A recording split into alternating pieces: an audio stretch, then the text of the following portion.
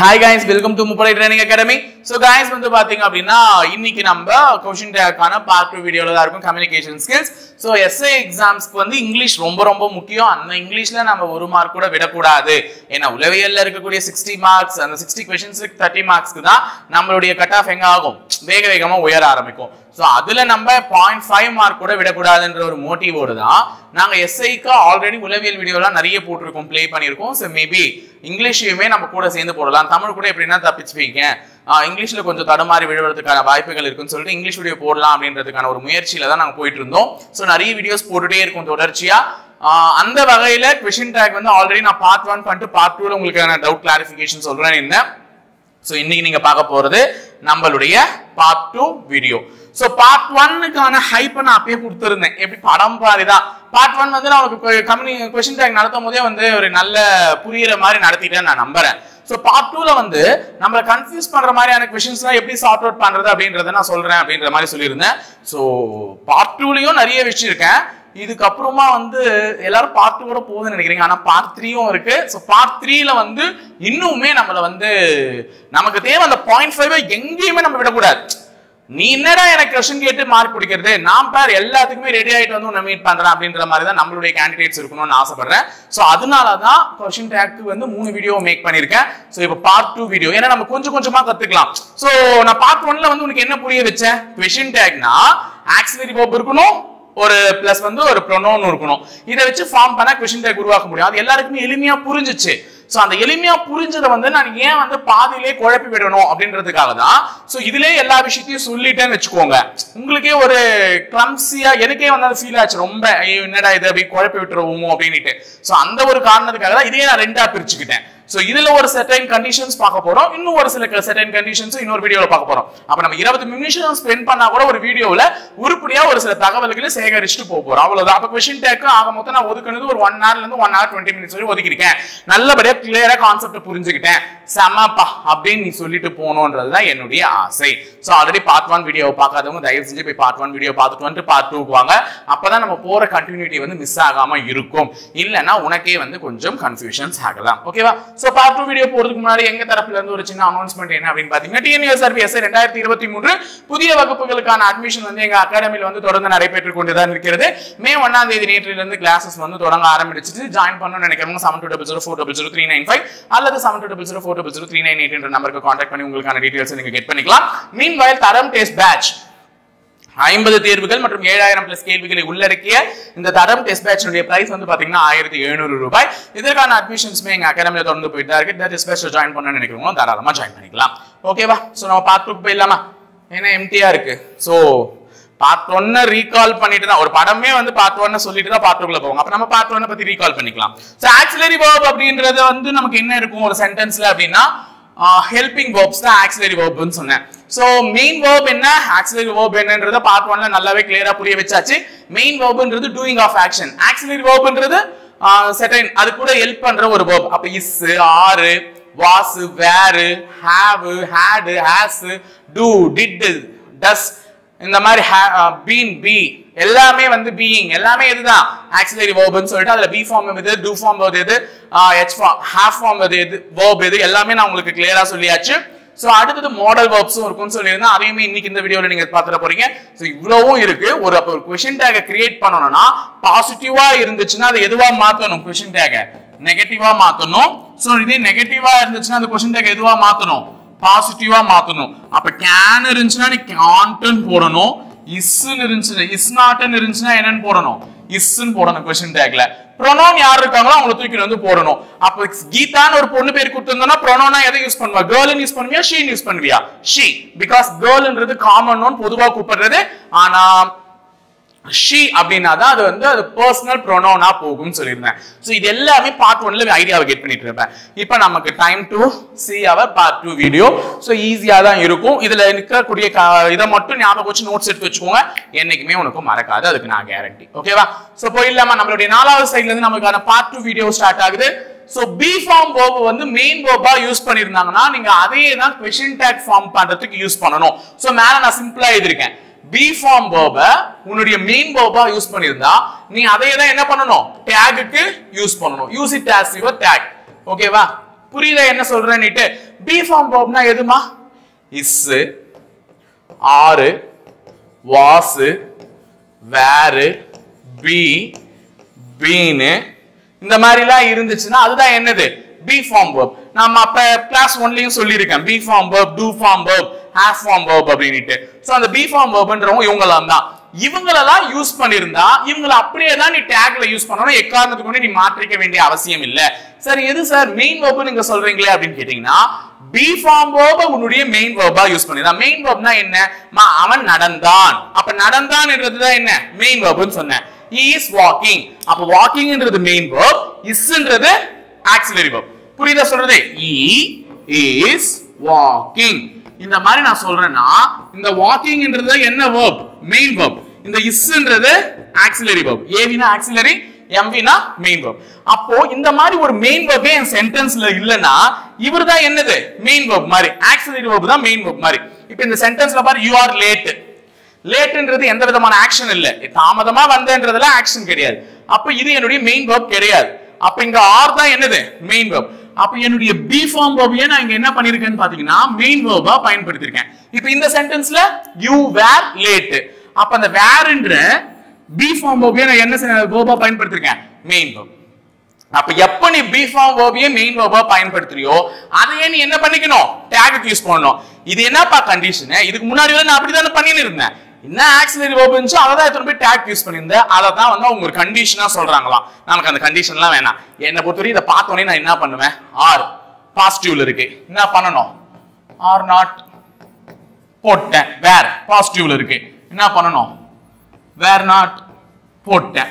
என்ன subject pronoun you you யூன்றது ஒரு ப்ரொனோன் தானே. அப்ப ஆரண்ட் யூ இங்க வேரண்ட் யூ முடிஞ்சிருச்சு. ஓகேவா? இதுக்கு எதுக்கு இந்த கண்டிஷன்லாம் எனக்கு குத்துனுக்கிறீங்கன்னா சொல்றது என் கடமை புரிஞ்சுக்கிறது உரிமை எல்லாத்தையும் நம்ம சொல்லிடுறது. அவ்வளவுதான் முடிஞ்சிச்சு. பி ஃபார்ம் வேர்ப் மெயின் வேர்பா இருந்துச்சுன்னா அதையே நீ டேக்ல யூஸ் பண்ணிக்கோன்னு சொல்றான். அப்ப எங்க பி ஃபார்ம் வேர்ப் தான் என்னுடைய மெயின் வேர்ப் அப்ப அண்ட் யூ வேரண்ட் யூ பாசிட்டிவ்ல இருக்கிறத நெகட்டிவா எழுதிட்டேன். ப்ரொனோனியே தூக்கி வந்து அங்க போட்டேன் ரெண்டு புரிஞ்சிச்சா? விளங்குச்சா? பி ஃபார்ம் வேர்ப் இருந்தா அதை யூஸ் பண்ணணும். இப்போ இங்க வா.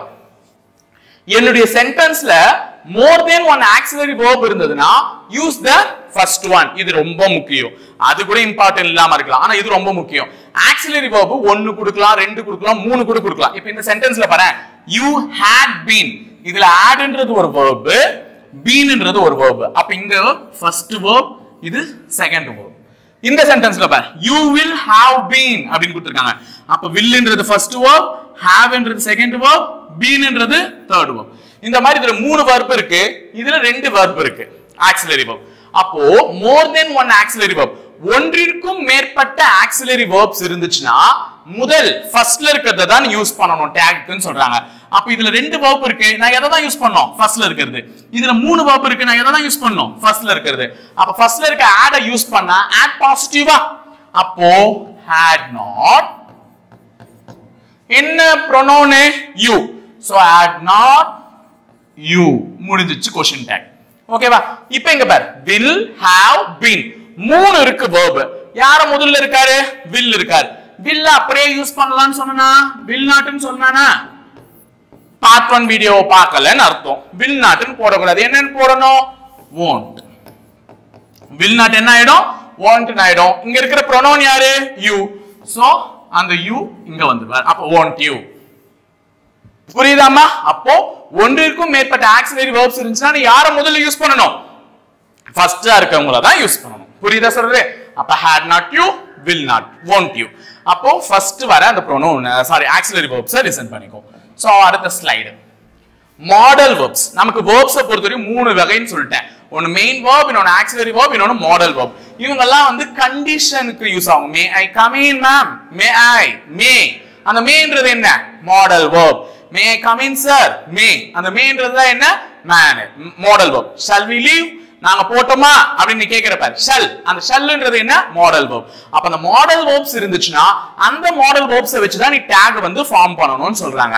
அப்ப மாடல் வேர்ப்ஸ்க்கு இங்க example எழுதிருக்கேன் can ought may must shall should இவங்க எல்லாருமே மாடல் வேர்ப்ஸ் தான். ஓகேவா இவங்க எல்லாருமே என்ன? மாடல் வேர்ப்ஸ் தான். ஸோ வில்லு ஹுட் இவங்கெல்லாம் கூட சேருவாங்க. ஸோ இந்த மாடல் வேர்ப்ஸை வச்சு நீ எப்படி எழுதணும்னா அவங்க இருந்தாங்கன்னா அவங்கள வச்சு தான் டேக் யூஸ் பண்ணணும். இப்போ பாருங்க யூ கேன் கேன்ன்றது என்ன? மாடல் வேர்ப் பீன்றது என்ன? பி ஃபார்ம் வேர்ப் ஸோ ரெண்டு வேர்ப் இருந்தாலுமே நீ யாரை தான் யூஸ் பண்ணணும்? ஃபர்ஸ்ட் இருக்கவங்கள தான் யூஸ் பண்ணணும். அதுதான் இப்ப கத்துக்கிட்ட? என்கிட்ட ரெண்டு verb இருந்தாலுமே ஃபர்ஸ்ட் இருக்கவங்கள தான் யூஸ் பண்ணணும். அந்த ஃபர்ஸ்ட் இருக்கிறவர் மாடல் verb. கேன் இருக்காரா? அப்ப அவர் என்னன்னு மாத்தலாம். கேன அப்படி நான் மாத்த முடியும். Can't can't can can't pronoun யாரு? யூ சோ அப்ப அவர் எடுத்துட்டு போயிட்டு அதே யூ யூ எழுதிடலாம் அப்ப can't you you can be drowned in water can't you அவ்வளவுதான். முடிஞ்சிருச்சு. இப்போ we should not be late. நாங்க லேட் தாமதமா வரல. Should not. ஷுட்டுன்றது ஒரு மாடல் verb. அந்த ஷுட்டை தான் இங்க யூஸ் பண்ணிருக்காங்க. நெகட்டிவா யூஸ் பண்ணிருக்காங்க. நாட்னு சேர்ந்திருக்கு. அப்ப அதை நம்ம என்னவா மாத்தணும்? பாசிட்டிவா மாத்தணும். ஸோ ஷுட் ப்ரொனோன் யாரு? வி அப்ப ஷுட் வி முடிஞ்சிருச்சா ஷுட் வி அப்ப மாடல் வேர்ப்ஸ் என்னவா இருந்தாலுமே சரி நீ அதே மாடல் வேர்ப்ஸ் தான் டாக்ஸ்ல யூஸ் பண்ணணும். சோ அதே கண்டிஷன் தான். ஒன்றிற்கும் மேற்பட்ட வேர்ப்ஸ் இருந்ததுன்னா முதல்ல இருக்கிறவ தான் நீ சூஸ் பண்ணிக்கணும். சோ அடுத்த condition if I am in it use are and I நல்லா ஞாபகம் வச்சுக்கோ ரொம்ப ரொம்ப ரொம்ப ரொம்ப முக்கியம். ஐ ஆம்னு இருந்துச்சுன்னா எல்லாரும் என்ன தெரியுமா யூஸ் பண்ணுவாங்க? ஆம் நாட் அப்படின்னு யூஸ் பண்ணுவாங்க. ஆம் நாட்னு யூஸ் பண்ணக்கூடாது. அவருக்கு பதில் யாரை தான் யூஸ் பண்ணணும்? ஆரண்ட் ஐ இது வந்து பாசிட்டிவ்ல மட்டும். பாசிட்டிவ்ல மட்டும். அதையும் லிசன் பண்ணிக்கோ. அதுக்கு தான் ரெண்டுத்தையும் ஒன்னா எழுதி போட்டிருக்கேன். பாசிட்டிவா இருக்கும்பொழுது நெகட்டிவா மாத்தனா ஆம் நாட்னு வரக்கூடாது. யாரும் தான் வரணும் ஆர் நாட் தான் வரணும். அது மட்டும் இல்லாம ஐ யூஸ் பண்ணணும். அந்த ஏன்னா ஐய தொடர்ந்து தான் ஆம் வருவாரு. ஏன்னா I am I a student I a medical student I a doctor I am a supervisor I a lawyer அப்படின்னு சொல்லிட்டு ஐய தொடர்ந்து தான் ஆம் வருவாரு. அப்ப ஆம்ன்ற வார்த்தை ஐய தொடர்ந்து தான் எப்பவுமே வருவாரு. அப்ப ஆம் ஐ இதை நீ எழுதவே கூடாது. இங்க ஐ ஆம்னு இருந்ததுன்னா ஆம் நாட் ஐ இந்த மாதிரி நீ எழுதவே கூடாது. என்னதான் எழுதணும்? ஆர் நாட் ஐ இந்த மாதிரி தான் எழுதணும். அப்ப I am your best friend aren't I aren't I I am taller than Sam நான் சாமை விட ரொம்ப உயரமா இருக்கேன். Aren't I? அவ்வளவுதான். அப்போ ஆம் பாசிட்டிவா இருந்து அதை நீ நெகட்டிவா மாத்தும் போது ஆர் நாட்டுன்னு தான் மாத்தணுமே தவிர ஆம் நாட்டுன்னு மாத்த கூடாது நல்ல மூளைக்குள்ள நங்கூரமா பதிச்சுக்கோ ஆனா இதுவே negative சென்டென்ஸ்ல I am not a big fan of you நான் உன்னுடைய ரசிகர் கிடையாது பெரிய ரசிகர் கிடையாது அப்படின்னு சொல்றேன். ஆம் நாட் அப்படின்றது நெகட்டிவ்ல இருந்ததுன்னா இதை நம்ம பாசிட்டிவா மாத்தும் போது ஆம் ஐ நானா? அப்படின்னு கேட்கிற மாதிரி. அப்ப நெகட்டிவ்ல இருந்து பாசிட்டிவ் போகும்போது ஆம் ஆமாவே வரலாம். ஆனா பாசிட்டிவ்ல இருந்து நெகட்டிவ் போடும்போது ஆம் ஐ ஆம் நாட்னு வரக்கூடாது. அது என்னவா வரணும்? ஆரன் புரியுதா? அப்ப ஐ ஆம் இருந்ததுனாலே அதை நீ ஆம் நாட்னு மாத்தாம என்னதான் மாத்தணும்? ஆரண்ட் ஐ அப்படின்னு தான் மாத்தணும். ஓகேவா ஐ am a supervisor aren't I அப்படின்னு தான் மாத்தணும். ஓகேவா அடுத்த ஸ்லைட் ரொம்ப முக்கியமான ஸ்லைட் நோட்டு இம்பார்ட்டன்ட்லாம் போட்டு எழுதி வச்சிருக்கேன். தயவு செஞ்சு நோட் பண்ணி வச்சுக்கோமா. ரொம்ப ரொம்ப இம்பார்ட்டன்ட் ஏன்னா நான் எல்லாத்தையுமே ஒரே சைடில் கொடுக்க பார்ட் த்ரீ வீடியோவே மேக் பண்ண போறேன். ஸோ அதனால நீங்க கவனிச்சுக்கோ ஓகேவா நம்ம கிட்ட மொத்தம் எத்தனை டென்ஸ் இருக்கு? பன்னெண்டு டென்ஸ் இருக்கு. என்னென்ன? Simple present simple past simple future present continuous past continuous future continuous present perfect past perfect future perfect past participle present participle அப்படின்னு நம்ம சொல்றோம்ல. ஸோ அந்த மாதிரி நம்ம கிட்ட எத்தனை சென்டென்ஸ் டென்சஸ் இருக்குன்னா பன்னெண்டு டென்சஸ் இருக்கு. அந்த பன்னெண்டு டென்சஸ்ல பத்து டென்சஸ்ல எப்பவுமே என்ன இருக்கும் அப்படின்னு பாத்தீங்கன்னா பத்து டென்சஸ்ல எப்பவுமே ஆக்சிலரி வேர்ப் இருக்கும். எந்த பத்து டென்சஸ்ல இருக்கும் அப்படின்றத நான் இங்க சொல்லிட்டு இல்லை ஏன்னா அது ரொம்ப நேரம் ஆகும். எந்த ரெண்டு சென்டென்ஸ்ல ஆக்சிலரி வேர்ப் இல்லைன்றத மட்டும் தெரிஞ்சுக்கோங்க. சிம்பிள் பிரசன்ட்லயும் சிம்பிள் பாஸ்ட்லயும் மட்டும் ஆக்சிலரி வேர்ப் வரவே வராது. ஓகேவா ஆக்சிலரி வேர்ப்ன்றது என்ன? நான் சொன்னது அந்த helping verb can would will is are has had have இவங்க எல்லாம் வரமாட்டாங்க. சோ இப்போ இந்த ரெண்டு சென்டென்ஸ் பார்த்தாலே தெரியுதா? யூ ப்ளே டென்னிஸ் இதுக்கு கொஷின் டேக் ஆமினா எங்க வேர்ப் இருக்கு? ப்ளே இது மெயின் வேர்ப் நமக்கு ஆக்சிலரி வேர்ப் தான் வேணும் கொஷின் டேக் ஃபார்ம் பண்ண. யூ பிளேடு டென்னிஸ் அப்ப இந்த ரெண்டு சென்டென்ஸ்ல டென்சஸ்லயுமே இது வரல? ஆக்சிலரி வேர்ப் வரல. யார் யாரு? சிம்பிள் பிரசன்ட் டென்ஸ்லயும் சிம்பிள் பாஸ்ட் டென்ஸ்லயும் இவங்க ரெண்டு டென்ஸ்லையும் தான் யார் வர மாட்டாங்க ஆக்சிலரி போ வர மாட்டாங்க இந்த மாதிரி ஆக்சிலரி போ வரலன்னா நான் எப்படி சார் கொஸ்டின் டேக்க ஃபார்ம் பண்றது? இது உன்னுடைய கேள்வியா இருக்கும். ஸோ இதுக்கு தான் இங்க கண்டிஷன்ஸ் எங்க கொடுத்துருக்கேன். ஓகேவா அப்போ பன்னெண்டு டென்சஸ்ல பத்து டென்ஸ்ல கண்டிப்பா ஆக்சிலரி verb வருவாங்க. நீ ஆக்சிலரி verb பார்த்துட்டு தூக்கி போட்டு கொஸ்டின் முடிச்சுட்டு போயிடுவேன் ஆனா ரெண்டு டென்ஸ்ல ஆக்சிலரி verb கிடையாது. அவங்க யார் அதுனா ஒன்னு சிம்பிள் பிரசன்ட் இன்னொன்னு சிம்பிள் பாஸ்ட் ஸோ இப்ப கண்டிஷன் உன்னுடைய சென்டென்ஸ் சிம்பிள் பாஸ்டா இருந்ததுன்னா நீ டிட்ட யூஸ் பண்ணிட்டு போயிட்டே இருக்கலாம். என்ன? டிட் ஆக்சிலரி வெர்பா நீ யூஸ் பண்ணலாம். இப்போ யூ பிளேடு டென்னிஸ் நீ எது நான் நான் எப்படி சார் சிம்பிள் பாஸ்டான்னு கண்டுபிடிக்கிறதுன்னு ஒரு கேள்வி கேட்பேன். நான் சொல்லிடுறேன் பாரு. இந்த மாதிரி இட் டே இட் டே அப்படின்னு முடியுதுன்னு வச்சுக்கோ. பிளே இட்டு வரி டே அந்த மாதிரி இட் இட்டுன்னு முடியுதுன்னா அங்க நீ என்ன யூஸ் பண்ணணும்? டிட் டிட் யூஸ் பண்ணணும். அப்போ டிட் பிளேடு பாசிட்டிவா தான் இருக்கு. அப்ப did not did not you pronoun என்ன இருக்கு? யூ அப்ப அந்த யூ அப்படியே எழுதிட்டேன். அப்ப டிடின் யூ அப்ப என்னுடைய சென்டென்ஸ் சிம்பிள் பாஸ்ட் டென்ஸ்ல இருந்துச்சுன்னா நான் எதை யூஸ் பண்ணணும்? டிட்டை யூஸ் பண்ணிட்டு போயிட்டே இருக்கணும். அது என்னன்னா இருக்கட்டும் ப்ரொனோன் ஹீயா இருக்கட்டும் ஷீயா இருக்கட்டும் வியா இருக்கட்டும் என்ன வேணா இருக்கட்டும். நீ என்ன இருக்குதோ அது அப்படியே போட வேண்டியதுதான் முன்னாடி என்ன போட்டுடணும்? டிட் நாட்னு போட்டுடணும். புரியுதா சொல்றது? எப்போ? உன்னுடைய சென்டென்ஸ் சிம்பிள் பாஸ்ட் டென்ஸா இருக்கும் பொழுது அப்ப பாஸ்ட் வேர்ப் இருக்கணும். பிளே இட் ஸ்டடிட் வரிட் அந்த மாதிரி. அதுக்கு அடுத்தது ஹேட் ஈட்னா இப்போ சாப்பிட்டேன். ஏட்னா சாப்பிட்டேன் அப்படின்ற மாதிரி. சோ இந்த மாதிரி எல்லாம் இருந்ததுன்னா நீ யூஸ் பண்ண வேண்டியது டிடின் யூ ஓகேவா டிட் தான் கண்டிப்பா யூஸ் பண்ணுவோம். இதே சிம்பிள் பிரசன்ட் டென்ஸா இருந்ததுன்னா simple present டென்ஸ்ல pronoun I we you they இவங்க எல்லாம் இருந்தா டூ பயன்படுத்தலாம். இந்த முன்னாடி யாரோ இருக்காங்கல்ல யூ இருக்க வேண்டிய இடம். இந்த இடத்துல ஐ வி யூ டே இவங்களா இருந்தா டு ஹி ஷி ஹிட் இருந்தா டஸ் ஹி ஷி ஹிட் அவன் அவள் அது. அவன் அவள் அது. இ ஷி இட் இவங்க இருந்தா டஸ் ஆனா ஐ வி யூ தே நான் நாங்க நீ அவர்கள். இந்த மாதிரி எல்லாம் இருந்துச்சுன்னா டு அப்போ இங்க யார் இருக்காரு? நீ. நீ டென்னிஸ் விளையாடினியா? யூ அப்ப டிடி டூ இருக்கு. அப்போ டோன்ட் யூ டோன்ட் யூ இந்த இடத்துல நெகட்டிவா ஆக்கிக்கிட்டேன். ஓகேவா you play tennis don't you ஓகேவா டிடென்ட் யூ முடிஞ்சிருச்சாமா? அப்போ இந்த மாதிரி சென்டென்ஸ் இருந்துச்சுன்னா இப்படிதான் நீ எழுதணும். அதுல யார் யாரெல்லாம் இருக்காங்கன்றது சொல்லியிருக்கேன் முக்கியமான பாயிண்ட் நோட் பண்ணி வச்சுக்கோ. நெக்ஸ்ட் போலாமா? Imperative verbs imperative verbs imperative என்ன? முதல்ல நமக்கு சென்டென்ஸ் நாலு வகைப்படும். ஒன்னு ஸ்டேட்மெண்ட் இன்னொன்னு இன்ட்ராகேட்டிவ் இன்னொன்னு இம்பரேட்டிவ் இன்னொன்னு எக்ஸ்கிளாமேட்டரி எக்ஸ்கிளாமேட்டரினா ஆச்சரியம். ஐயோ அச்சோ ஹே ஊ அப்படின்னு ஆச்சரியமா பண்றது எக்ஸ்கிளாமெட்ரி உனக்கு கத்திய கொடுப்பாங்க. இந்த மாதிரி ஒரு குறி இருந்ததுன்னா எக்ஸ்கிளாமெட்ரி ஞாபகம் வச்சுக்கோங்க. இந்த மாதிரி ஒரு குறி இருந்தது கேள்வி குறி இருந்ததுன்னா இன்ட்ராகேட்டிவ் அவர் இன்ட்ராகேட் பண்ணியா? போலீஸ் ஆக போற நீங்க. எப்படி கேட்பாங்க உங்களுடைய சுப்பீரியர் ஆபீஸ் வந்து? அவனை இன்ட்ராகேட் பண்ணியா? இன்ட்ராகேட்னா என்ன? அவனை கொஷின் பண்ணியா?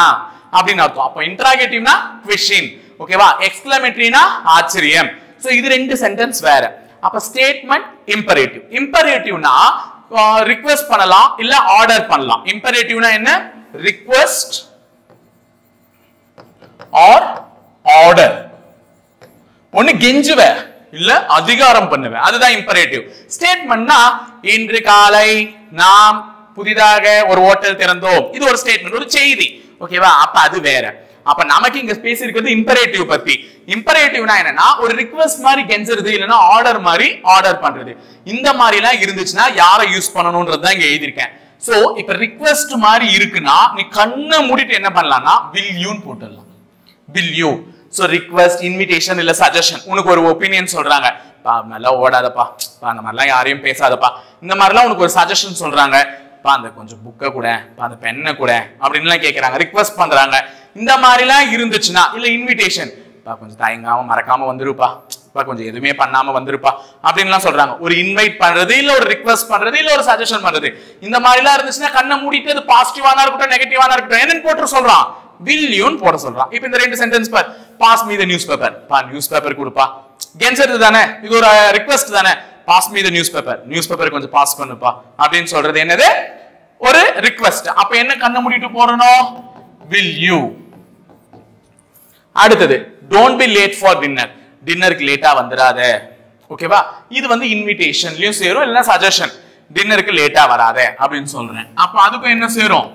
வில் யூ ஓகேவா வில் யூ இதே இம்பரேட்டிவ் வந்து உன்னை ஆர்டர் பண்ற மாதிரி இம்பேஷன்ஸ் ஃபோர்ஸ் டு ரிபக் அப்படின்னு இருந்துச்சுன்னா அதாவது உன்னை ஆர்டர் பண்ற மாதிரி உன்னை ஒரு தர்ம சங்கடமான சூழ்நிலை உன்னை நெருக்கிற மாதிரி இருந்துச்சுன்னா நீ என்னன்னு போட்டுரு. காண்ட் யூ அப்ப ரெண்டே சென்டென்ஸ் தான். இம்பரேட்டிவ் வந்து கெஞ்சற மாதிரி இருந்துச்சுன்னா வில்லியோ இம்பரேட்டர் உன்னை இம்பரேட்டிவ் சென்டென்ஸ் உன்னை ஆர்டர் பண்ற மாதிரி இருந்துச்சுன்னா காண்ட் யூ இப்போ இதுக்கு பார். யூஸ் யுவர் காமன் சென்ஸ் உன்னுடைய அறிவை பயன்படுத்து அப்படின்னு சொல்றேன்.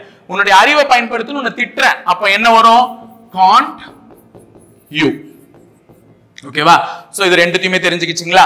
அப்ப இம்பரேட்டிவ் சென்டென்ஸ் வந்து பாசிட்டிவானா இருக்கட்டும் நெகட்டிவானா இருக்கட்டும். கெஞ்சற மாதிரி இருந்துச்சுன்னா வில்லியோ ஆர்டர் பண்ற மாதிரி இருந்துச்சுன்னா காண்டியோ ஓகேவா சோ அடுத்தது போலாமா?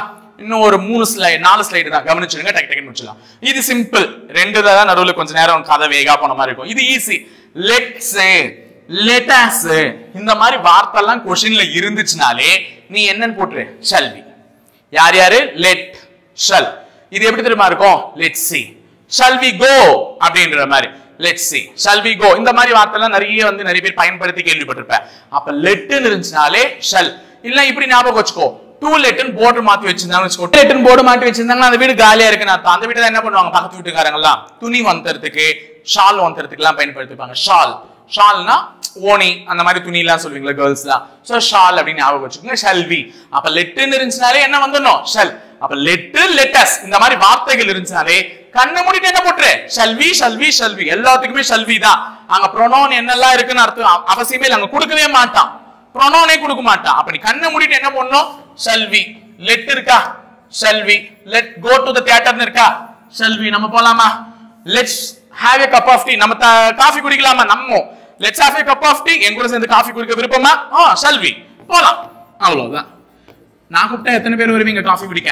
ஏதாவது ஒரு காஃபி சிம்பிள் போட்டு போய் பார்க்கலாம் கமெண்ட்ல ஓகேவா ஷல்வி அப்போ let's have a cup of coffee நம்ம காஃபி குடிக்க போலாமா ஓகே ஷல்வி நம்ம வந்து தியேட்டருக்கு போலாமா செல்வி போலாம். Let's have a game of cricket cricket விளையாட போலாமானா? Shall we.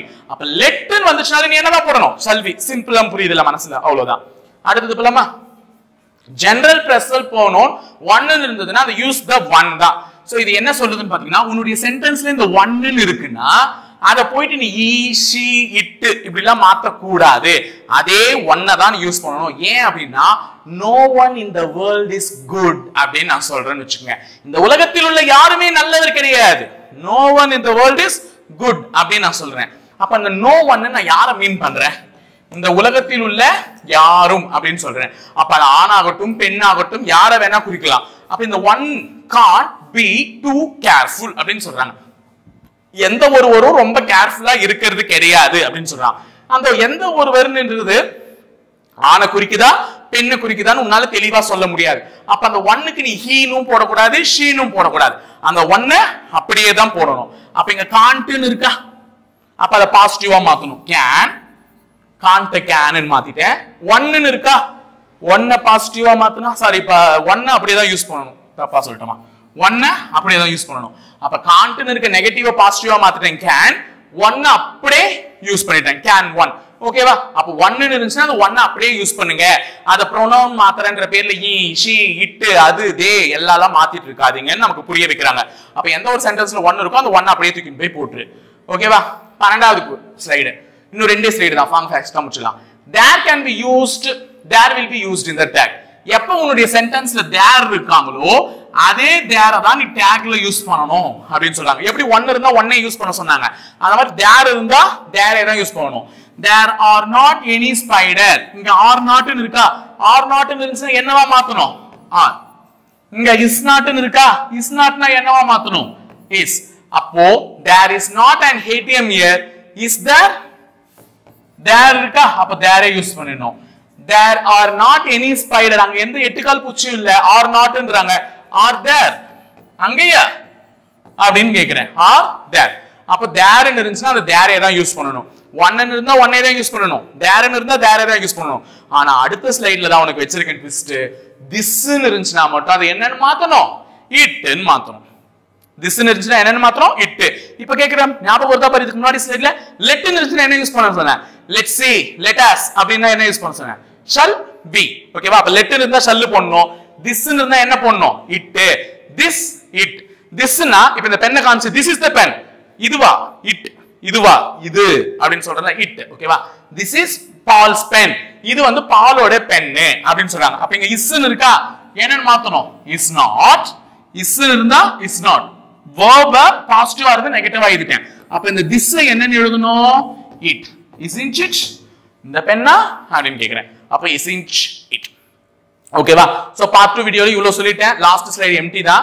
ஓகேவா பார்ட் டூ வீடியோ புரிஞ்சா ஒரு முறை ரீகால் பண்ணிடலாம். வேகமா? மா வேகமா ரீகால் பண்ணிடலாமா? ஃபாஸ்ட் இதெல்லாம் நான் சொல்லிட்டேன். இங்க இருந்து போலாம். பி ஃபார்ம் verb வந்து உன்னுடைய மெயின் வெர்பா இருந்தா அந்த பி ஃபார்ம் verb தான் நீ டேகா யூஸ் பண்ணணும். அப்ப பி ஃபார்ம் வெர்ப்ன்றவங்க இவங்க எல்லாம் தான். இஸ் ஆறு வாசு வேறு பி பீன்னு ஆடு இது என்ன வேணா இருக்கட்டும். அதையே தூக்கி வந்து என்ன பண்ணணும்? மெயின்ல சாரி நம்ம கொஸ்டின் டேக்ல யூஸ் பண்ணோம் யூ ஆர் லேட் ஆர்ன்றது ஆர் நாட் போட்டேன். யூ வேர் லேட் வேர்ன்றது வேர் நாட் போட்டேன். யூ தூக்கி வந்து அப்படியே எழுதிட்டேன். இதே ரெண்டாவது ஸ்லைட்ல ஒன்றுக்கும் மேற்பட்ட ஆக்சிலரி வேர்ப் இருந்துச்சுன்னா முதல்ல வரவங்கள தான் நம்ம டேக்ல யூஸ் பண்ணணும். இங்க பாருங்க ரெண்டு ஆக்சிலரி வேர்ப் இருக்கு இங்க மூணு ஆக்சிலரி வேர்ப் இருக்கு. எத்தனை வேணா கொடுக்கட்டும். முதல்ல இருக்கவங்கள தான் தூக்கி போய் டேக்ல யூஸ் பண்ணணும். இங்க வில்லு தான் முதல்ல இருக்கு. வில்ல நாட்டோட சேர்த்து எதுனா ஓன்ட்டு ப்ரொனோன் எடுத்துட்டு போய் யூ எழுதிட்டேன். இங்க வந்து ஹேட் இருக்கு. ஹேட் நாட் யூ அடுத்தது ஆறாவது கொஸ்டின் மாடல் வெர்ப்ஸ் இருந்துச்சுன்னா அந்த மாடல் வெர்ப்ஸே யூஸ் பண்ணிக்கணும். ஸோ மாடல் வெர்ப்ஸ் இங்க பாருங்க ரெண்டு இருந்தது. கேன் ஒன்னு இது பி ஃபார்ம் வேர்ப் பி ஒன்னு ஸோ கேனை முதல்ல யூஸ் பண்ணிட்டேன். காண்ட் யூ அப்படியே தூக்கின்னு போயிட்டேன். இது ஷுட் நாட் இருக்கா? நெகட்டிவ்ல இருக்கு. பாசிட்டிவா மாத்திட்டேன். ஷுட் வி தூக்கின்னு போய் அப்படியே எழுதிட்டேன்.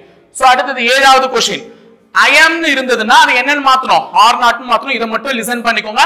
பாசிட்டிவா இருக்கக்கூடிய ஐஎம் நெகட்டிவா போகும்போது ஆர் நாட்னு போகும்.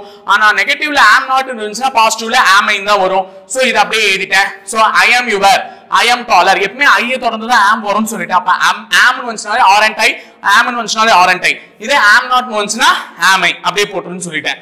ஸோ அடுத்தது எட்டாவது வந்து பன்னெண்டு டென்ஸ் இருக்கும்னு சொன்னேன். அந்த பன்னெண்டு டென்ஸ்ல வந்து பத்து டென்ஸுக்கு ஆக்சிலரி வேர்ப் வந்துரும். ரெண்டே டென்ஸுக்கு தான் ஆக்சிலரி வேர்ப் வராது. அது ஒன்னு எதுன்னு பார்த்தீங்கன்னா சிம்பிள் ப்ரெசென்ட் இன்னொன்று என்னன்னு பார்த்தீங்கன்னா சிம்பிள் பாஸ்ட் இந்த ரெண்டு சென்டென்ஸுமே எப்படி ஐடென்டிஃபை பண்றதுன்னு சொல்லி கொடுத்துருக்கேன். சிம்பிள் பாஸ்ட்னா எல்லாமே பாஸ்ட் டென்ஸை பத்தி பேசுற மாதிரி இருக்கும். டிட் டிட்னு வரும். ஸோ டிட் யூஸ் பண்ணணும்.